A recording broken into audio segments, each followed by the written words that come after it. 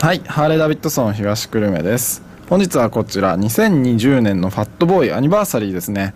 こちらのカム交換とチューニング行っていきます。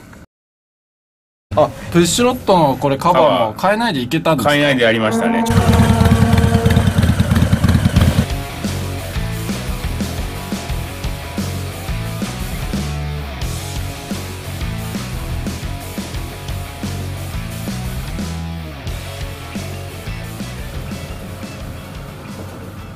あ、青さん、あ、どうも。どうもどうも、すいません。お疲れ様でお疲れす。様です。ちょっとチューニングお願いしたいんですけど。えその前にですね、はい今日はですね、私がですね、開発した新しいこの機械がありまして。孫さん開発したんですか？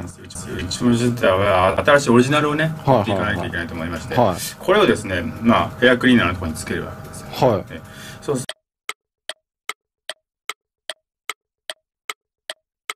ヘアクリーナーのところにつけるわけですよ。はい。でそうするとですね、えーっと、5馬力ぐらい、5馬力、はい、トルクにして2キロ、そんなに、はい、すごいですねですけど、はい。いくらぐらいなんですか？これをですね、まあちょっと値段決めてないんですけど、はそうですね、2万か3万ぐらいかな、まずは。うん。えお試し価格で。い。どんなんなんですか？ちょっと見せてもらっていいですかはい、はい、こういう感じですね。これのね。ちょっと待って待って、ちゃんと見せて、ちゃんと見せて。んちょじゃあ表側見せて。いや、表側見せて。表ってこうですか？いや、これあれだよ、ゴキブリホイホイじゃねえかよ、これ。違いますほら、違う違ゴキブリホイホイだよ、これ。違いますよどこから持ってきたんですか、ほら、これ。じもう一個あるからね。いやこれほら、裏っ側にあのシール貼ってさ、こうやって角に置いとくゴキブリホイホイだよ、これ。いや、もうほんとやめてください、そんなほんと誰かバイク。これ間違えて入れ替えやがったな、これな。いやいや人のせいにする食べられませんんって書いてありますね。ほんと適当なことばっかやってんだからさもうほら早くやれよとりあえずもうあこれ、後でもうちゃんと新しいの持ってきますね。はいもうさんはい。すみませんちょっと仕切り直してねはいはい行きましょう。真面目にねはい。はいではでは今回目標何馬力でしょうか？目標105馬力。105馬力105馬力。おおなるほどね。えっとカムは002ですよね。はい00に入れました。はいはいはいはいでどんなのがついてるんですか今回は？これはですね、ちょっとかっこいいですよ。おマフラー。出ましたね。車検対応のこれ。対応のジキハイドじゃないですか。かっこいいねかっこいいですね。えめっちゃかっこよくないですかかっこいいですよね。すごいいい感じですね。ね。これスラッシュカットって呼ばれるやつですよね。えほうほうほう、そうですね。そうあのエンドキャップをあの、10キロは結構選べるんですよいろんな種類から。うん。で今回選んでもらったのはこれあの多分スラッシュカットって呼ばれるやつ。おお。そう。でちゃんと可変式なんで中にバルブがついててね、うんうんうん。でこのボタンでできるやつです。はい、これですね。そう。でカムはカムは002ですよね。ピーマン入れてるんだねピーマン入れてますね。あプッシュロットのこれカバーも変えないでいけたんですか買えないでやりましたね。ちょっとかなりね、こう。苦労したけどあのねなんかあのちまい感じですよね。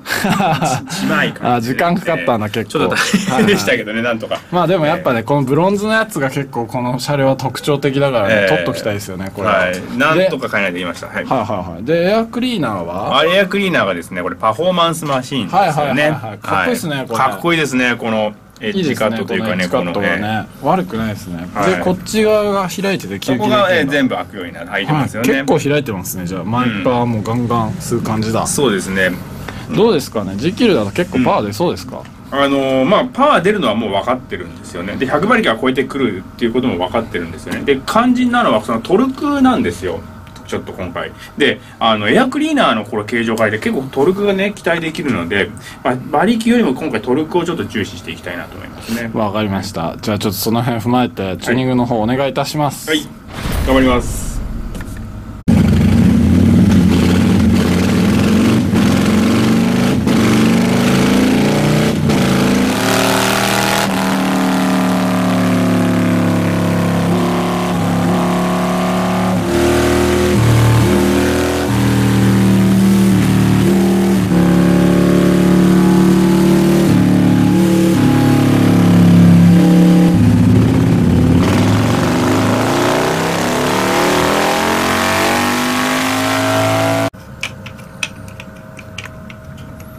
あすいませんあどうもお疲れ様です。すいません。えすいません。すいません。これちょっと違うやつでしたねこれね。いやいや誰が見ても分かるこれゴキブリホイホイだからこれえそうですか？うん、あのよく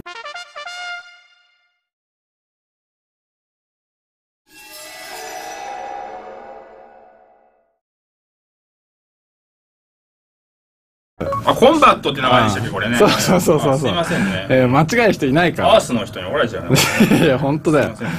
ちょっとあのえ結果聞きたいんですあ、あけどちょっと待って、その前にですね、はい。また新しいうちの方でですね、返した今度。あ今度は？添加剤なんですけど、ね、大丈夫？今度は大丈夫ですか？今回はですね、うん。この、まあ、今度はガソリンに入れる方ですね。ガソリン入れる方？ソリンに混ぜる方ですね。添加剤。えー添加剤です。どんぐらい良くなるんですか？これもやっぱり、えっ、と、1馬力から1.5馬力上がるっていうことです結ね。構ですね。え。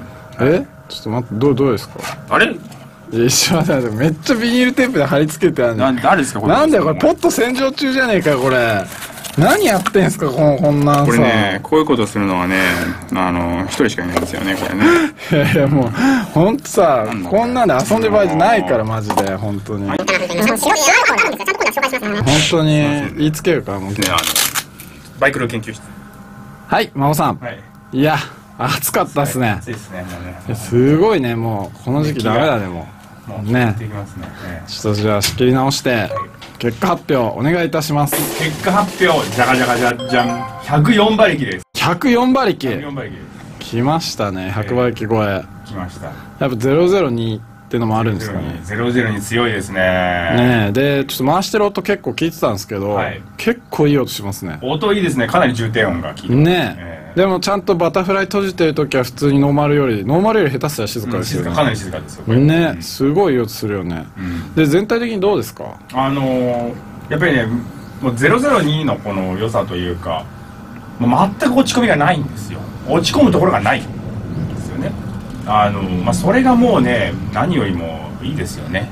え要するにトルクも馬力もバランスよく上がってえる。バランスよく上がりますね。で、うん。曲線的にも綺麗なんですか？綺麗です。あの綺麗ですし結構最初からトルクが強いトルクが入ってくるので出だしですよね。もう本当にあの発信する時が気持ちよく出れます。それがやっぱり何よりいいですねそれはあのバタフライの開閉も結構関係あるんですかあ関係。いきなり最初かええらそのフル全開の音にして発信するのと、ええ。要するに閉じた状態で発信するのでやっぱ違うもんなんですか？あのそれは多少はね違いますよね。やっぱりそれは開けてる方がいいんですけれどもただ閉じた状態でももうあのしっかりセッティングしてあるのであのそれでもねあの十分気持ちよく発信できると思いますよ。じゃあ結構面白くなってそうですね。あこれは面白いですねちょっとね。でアイドリングはどれぐらいに設アイドリング定してるの770です。おお結構下げましたね、はい下げましたね。じゃあもう本当結構いい音するねきっと。しますよこれは。じゃあえー分かりました。じゃあその音の方とテストの方、はい。お願いいたします、ありがとうございました。